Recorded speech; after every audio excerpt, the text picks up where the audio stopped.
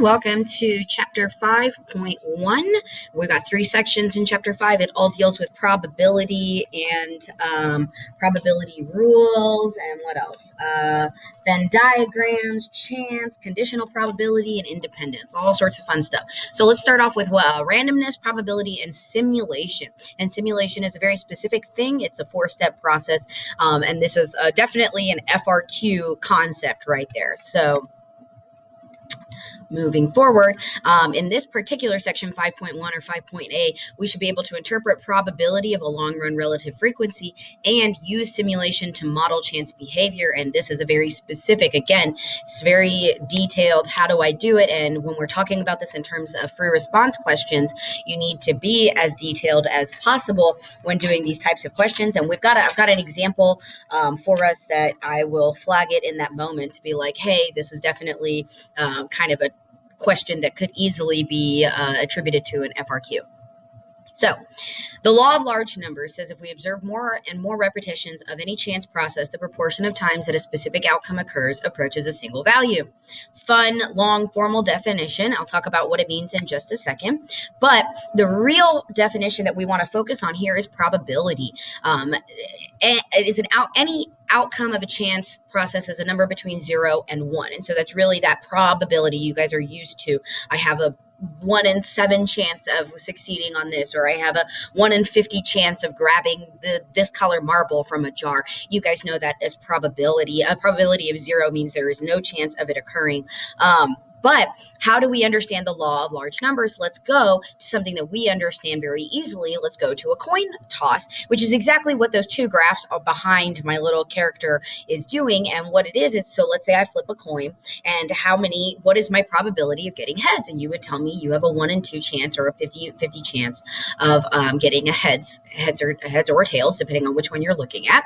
And so let's say we're talking about just heads because that's what these um, graphs are talking about. So at the beginning, I might get heads heads and then tails and then tails and then tails and then heads and then heads and then tails, whatever. I'm it just it's all sorts of chaos. And as you can see at the beginning, oops, at the beginning of our um, graph, you can see we've got some some chaos going on here. It looks all over the place. And at the beginning of this graph, it's all over the place again with those tosses. But as you can see, as I get to a very large number, huh? Interesting. A very large number, part of that law of large numbers, our proportion becomes 0.5. It evens out about here. So what they're saying is over the course of lots and lots and lots and lots of repeti- repetitions, we actually get to see the true behavior that occurs from that probability that you calculated for yourself. One in two chances 0.5. And so it occurs when you do repetition huge number of times. But because of this law of large numbers, we end up with some myths and so I want to, well, they, but also I want to address those really quickly. Um, there's two myths that we want to talk about the short run regularity. And so that's, you know, well, if there's a 50 50 chance that I'm going to get heads and I've gotten tails numerous times, then of course I'm heads must be next. This is the the myth of short run regularity that you believe that because you know what the rule and law is becoming, you assume that it must occur, um, and, and you forget that random phenomena is part of predictability. So, thinking of this in terms that you would understand, I'm taking a multiple choice exam, and every answer is B. Question one is B, and question two is B, and question three is B, and I get to question four and five, and I'm like, oh my God, they're still B. And I know my teacher probably randomized these answers. So how are they all B? Did I make a mistake? The reality of it is, is I can run a random number generator, or a random uh, answer generator, and I can get what we call a short run, a bunch of bees in a row. And that's okay. That's still part of randomness. That is still the chaos of randomness. R- runs can occur, but I can't predict. I can't say, well, if these are all bees, my next question better not be B. You, as a student, know that that's not how multiple choice tests work. The answer is simply the answer, whatever pattern is occurring on my answer bubble sheet. All right, uh, the myth of the law of averages. So, uh, probability tells us random behavior evens out in the long run. We know that. But our future outcomes cannot be affected by past behavior. Where we see the law of averages occur really often is what we call the hot streak in gambling or wherever else you might see that. Um, but, you know, I, I, I I won three times in a row. I must be on a hot streak. I'm going to win again. Or vice versa. I just won six times in a row. This table's over. There's no more wins left at this table, but it's got to be a losses coming next. That would be the law of averages um, that you're using inappropriately. It doesn't work that way. Uh, another place there's a silly little joke. I don't know if this is a real story or if it's just to to make this um, comic strip make sense. But so the law of averages doesn't guarantee me a girl after seven straight boys but can't I at least get a group discount on the delivery fee? So this little story goes that uh, a woman comes in and she's she's had girl after girl after girl, and the doctor is like, okay, you've had seven straight girls.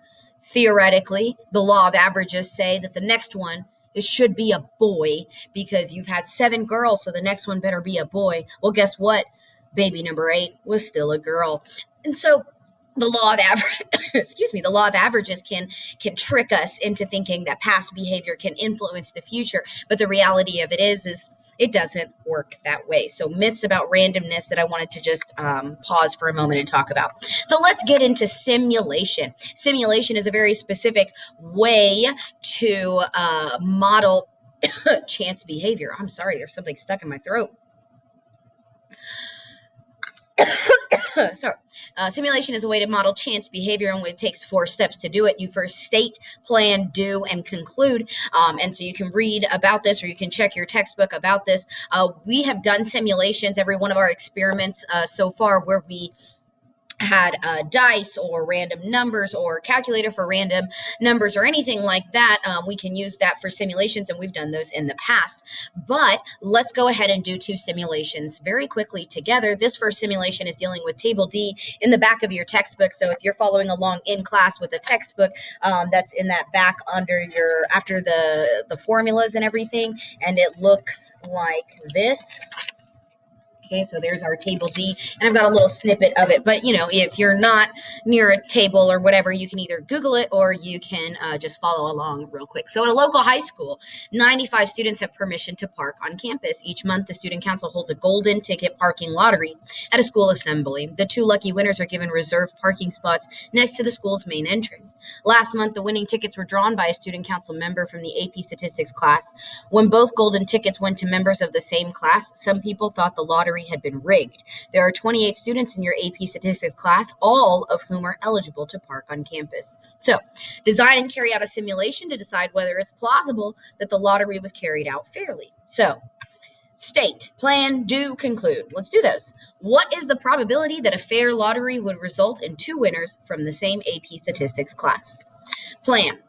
We're going to use the table of random digits. Um, we're also going to do another simulation using the calculator's integer, uh, rand integer thing, but we never really got to use the table D, and I know that it's going to show up on the AP exam potentially under the FRQ section, so I did want to just showcase really quickly how we use this. So I'm going to plan. And if this was a free response question, this is one of the most important steps right here because if my plan written out cannot be recreated with all of the steps accounted for without any you know assumption inference or anything. It was 100% clear?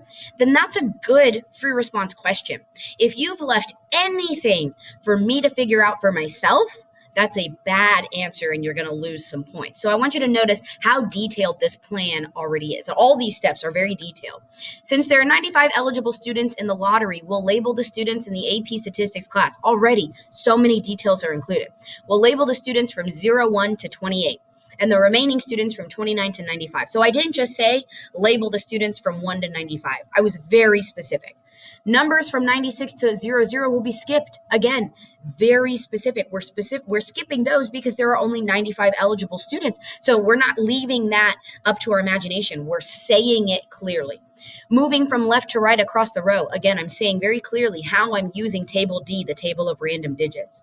We'll look at pairs of digits, detail pairs. We'll look at pairs of digits until we come across two different labels from 01 to 95. The two students with these labels will win the prime parking spaces. We will record whether both winners are members of the AP Statistics class using yes or no.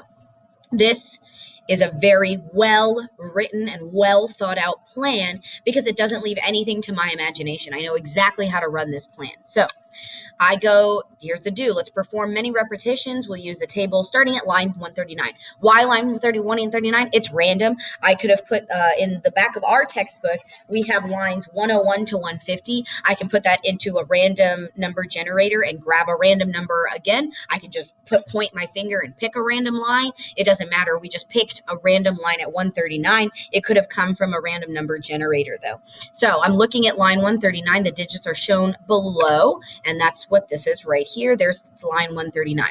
And this is what we're going to eventually do is separate them out. I was just giving you a preview of both what it looks like in your table and what it's going to look like on our um, experiment. So here I have, this is line 139, but I've split them into two-digit numbers because that's what we're using. 0, 1 through 95 are two-digit numbers. So here, 55 and 58 uh, this is repetition one. No, because none of those are our AP statistics students.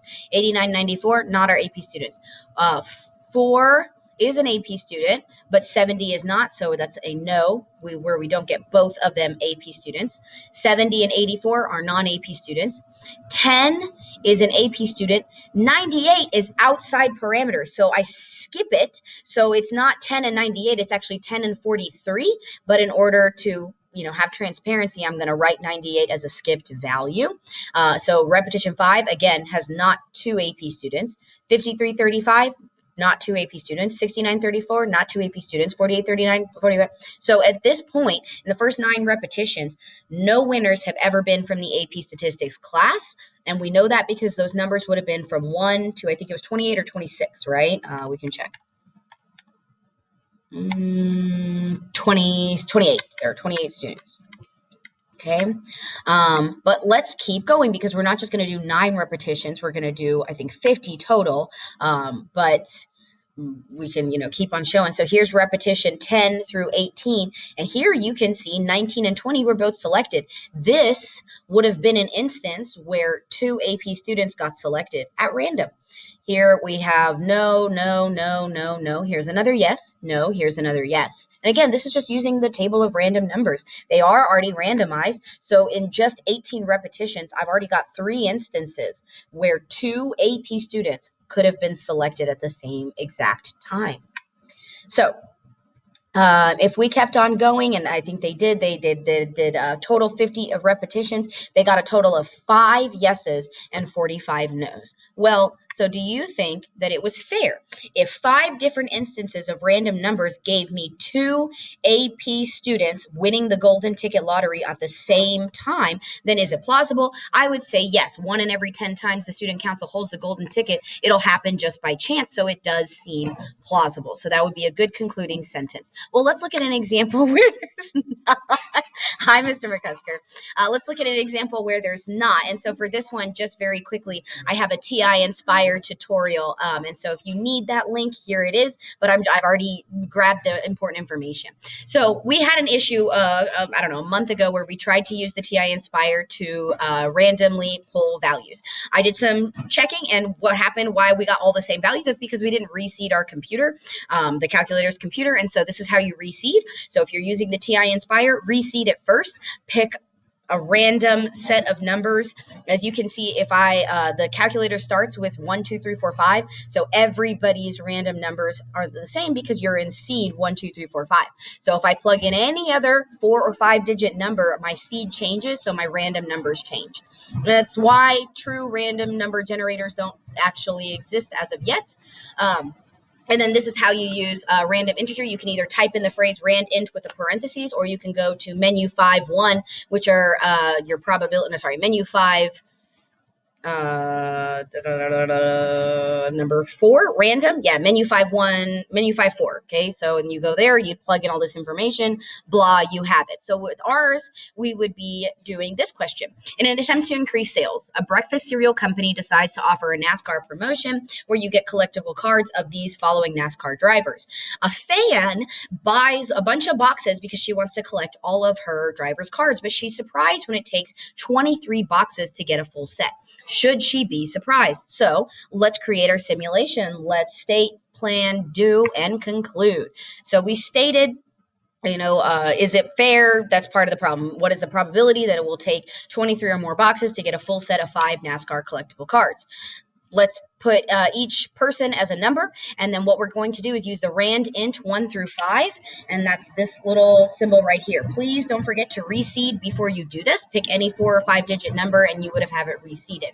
Why we can't do rand int and then 1 comma 5 and a number to, to purposely create a bunch is because we're trying to actually see what number we would have gotten in that cereal box. So let's see this simulation. And again, we're going to simulate it 50 times. However, just for posterity, I already simulated it for you a few different times. So it took nine boxes to get a full set. It took 16 boxes to get a full set, 10 boxes to get a full set, and 20, uh, and then 15, and then 22 boxes. So this is just the first few simulations. I can run this simulation numerous times to get a um, predicting predictive model and to see, hey, do we see something that evens out? So here's our predicted model, and this is all 50 simulations done. So we never had to buy more than 22 boxes. As you can see, it's skewed very much. Uh, it's it's a, it's definitely higher on the left end, so it's skewed to the right, and uh, that means more often than not, you are buying less boxes than more, and so. Um, it should surprise her that it took her 23 or more boxes to earn all five sets. That should definitely be surprising. If the if it was truly randomized the correct way, then the they she should have gotten them earlier. And so that tells me that this particular cereal box company probably put a bunch of ones or a bunch of threes, and the more rare card was um, probably placed in there fewer times or something funny like that. But that's all we got. So did you were you able to interpret probability about long run relative frequency? Do you understand the myths of um, of randomness and how we can extrapolate data that should have never been extrapolated? And can you use a simulation? Can you uh, state, plan, do, and conclude to model chance behavior? All right, I'll see you guys in class.